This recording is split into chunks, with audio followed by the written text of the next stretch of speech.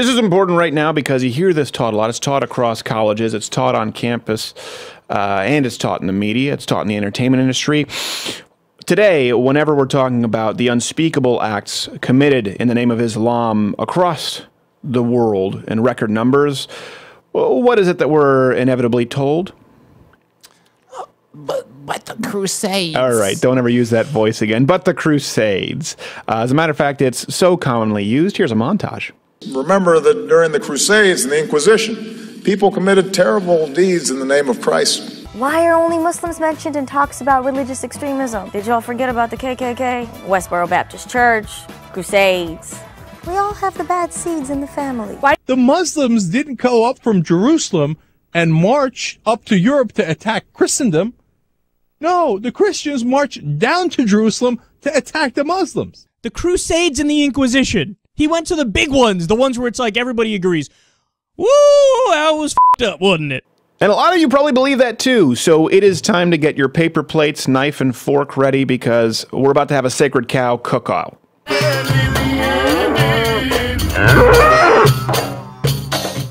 It's a nice little graphic there. Mm, well sure done. to get us some letters. So, let's get through these th- these myths. There's if you've been taught about the Crusades, I'll call them the Second Crusades, the retaliatory Crusades. I'll explain in a minute because it's important. That they were unprovoked. That it was just Christians running across the globe uh, with pointy hats and swords, killing any and all Muslims they could find, innocent or not, simply because they didn't like their brownness. It couldn't be further from the truth. Now, it's important because this is taught in schools across the country. A lot of people believe this. The fact is that these crusades, the second crusades, they were a response to the first crusades from Islam, from the Muslim onslaught for hundreds of years. For over 400 years, there was consistent Muslim expansion, aggression, violence. Muslims took Jerusalem in 638 AD. Uh, they pillaged Rome in 846 AD. Christian Spain and Portugal in 711 AD. Sounds like a gas station, but it's historical context that you need to know. That's why you tune in. Southern Italy during the 9th century. Uh, the Ottoman Turks were advancing into to Europe and invading the Byzantine Empire. Uh, in, uh, I think I think it was 10, 1050, 1060 something AD, the Turks were marching into Asia, Syria. Um, and then the big one, the big reason, so if you look at this map and you can see it expanding, was 1453, the capture, the sacking of Constantinople, which basically put an end to the Christian Byzantine Empire. And um, here's the thing. I, understand military expansion, okay? So I'm not going to condemn the Islamic uh, world for doing this back then, okay? Now, right away, that should change the context to the Crusades because people war and people go back and gain territory and win. But the sheer brutality from Islam. Uh, For example, they, they, they, they deliberately desecrated the burial sites of Peter and Paul Dick move. in 846. Some may say. Exactly. These are military terms you need not concern Yes. yourself with. They would behead people, as we see today. They had uh, methods of torture that were incredibly brutal. The dhimmitude, meaning they were put, they would force non-Muslims to be subservient and pay taxes, and they didn't get to enjoy the same kind of rights as Muslims got to to enjoy. Something we don't mention amongst our white guilt: millions, millions. Some people estimate higher than 100 million died under the Arab slave trade. We have courses that we're forced to take here in the United States to learn about the evils of slavery that we stopped. Oh, are they teaching those? Anywhere across the Islamic world? Is there is there Islamic guilt? Is checking your Islamic privilege a thing?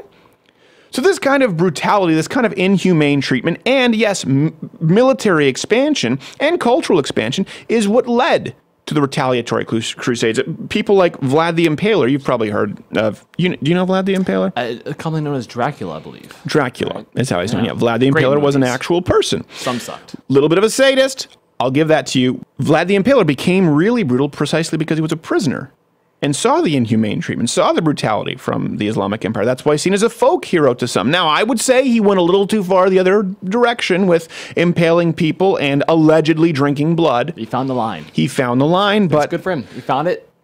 You find it and then you dance back. That's what you but have to do. they heard the message loud and clear. It's true. He was one of the few people who fought them off. He was using Verizon back then while everyone else was on Sprint.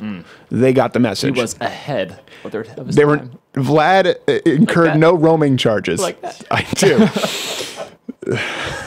Uh, so all of this is what led to the Pope putting forward the idea of a Christian crusade for, for the first time that kind of gave license to uh, killing people who weren't Christians because they were facing the extinction potentially what they thought of their culture of their way of life to who they saw to be barbarians at that point. And it's important to remember that the crusades the retaliatory crusades from the Christians at that time met the criteria of the just war clause. They were thought of as an act of love in response to Muslim aggression. Historically they met the criteria that was necessary. So that's a big myth that we know. Another one that, that we hear a lot, and that, that context matters, is that the Crusades are uh, some sort of a source of modern Muslim aggression or angst toward the West. Um, there are terms out there, often parroted by, of course, the Young Turks, Reza Aslan. Um, you've probably did any of you learn this in college where they talked about when Christians took Jerusalem in 1099? I should say took back Jerusalem. Yeah. Which is really what they wanted to do. They'll teach you when Christians took Jerusalem in 1099. No, when they took back Jerusalem. Kind of like when people talk about the war of, of 67 when Israel gained territory, they don't talk about how many countries was it Egypt, Jordan, uh, I'm going to remember the third one. We're teaming up to eviscerate them, and Israel just happened to kick their asses and took their land for protection. It's it's left out. So when Christians took back uh, in 1099. You've heard this term, right? That the, the, their, their siege of Jerusalem, uh, blood. They had blood up to their knees. You, you might have heard it. It's a term yeah. thrown around a lot. Even so much so that Bill Clinton said this after 9 11, mind you. The context matters. In trying to be sympathetic and show his tolerance and how progressive he was to the terrorists and terrorist supporters across the Islamic world, Bill Clinton had this to say Those of us who come from various European lineages. Can you do it in Bill Clinton?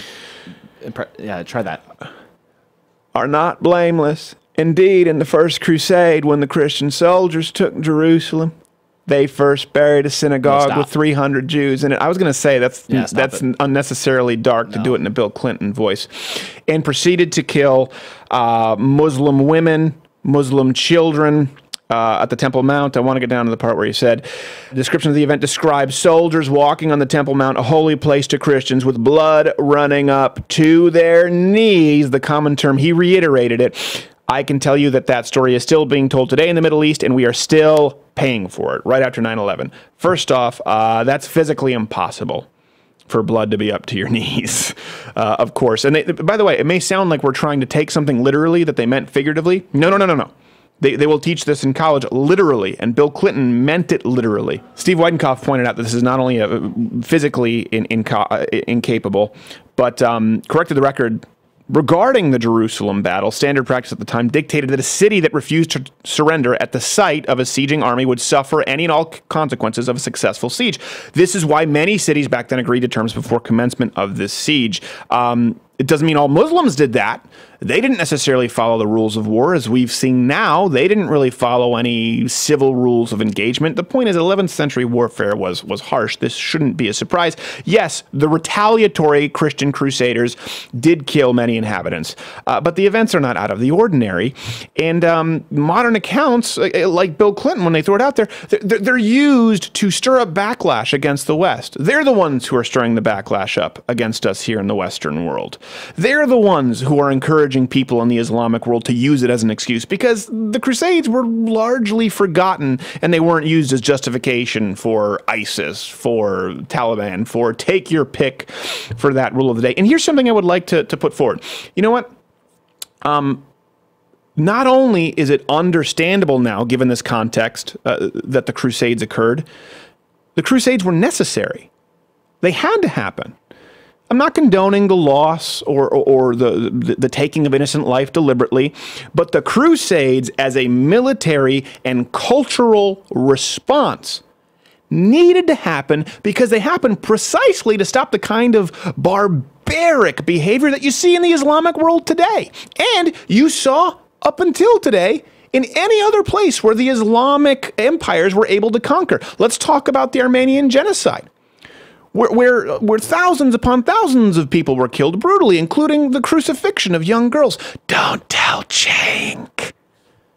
I still don't know how Ana Kasparian sits mm. next to him. Let's just don't talk about it. It only gets him mad. Uh, in the 1800s, Sunni Muslims killed over 4,000 mostly civilians in the city of Shia beheading their king. They still behead in the Islamic world. You've seen these headlines. This still occurs all across the Islamic world. I'm not only talking about ISIS, but in places like Saudi Arabia. In some of these places in the Islamic world that actually have modern technology, you would consider them here in the New World, beheadings occur in soccer stadiums as a warm up act. We get Beyonce's nipple, they get a head rolling around being kicked for a goal. I'm just saying that the reason the Crusades occurred were to stop the kind of behavior that shock you every single day when you read the news from the Islamic world. Because guess what? That was going to be the entire world. Even today, ISIS and their ilk are still forcing non Muslims into dhimmitude with taxes and violations of basic human rights. And here's, here's the main point whenever religious Islam has been given the uh, opportunity to to to congregate, given a petri dish. Um, in contrast to the rest of the modern world, to the rest of Western civilization, Europe, the United States, the Islamic world, when given the opportunity to civilize, when given more time, doesn't get better, doesn't make progress. It almost always gets worse. It gets worse. And that's what was happening before the Crusades because of the Islamic Crusades, and that would have occurred across the entire world. It's not one of those issues. Leftists like to act. Sometimes they'll use this argument, right? That, well, Christians have come a long way if you go back to the Crusades. They were pretty uncivil, and uh, some members of Islam are just in that. It's like that phase for them where they need to get beyond it. No, Christians before the Crusades did become much more civilized, were advancing into the New World, then because of Islamic onslaught and behavior, they had to get down in the dirt. The Crusades occurred, and they continued to make progress. By contrast, anywhere in the Islamic world or what they expanded into with their crusades has been allowed to continue, it has gotten worse and darker. And, and, if you're a progressive and you feel the need to appease it,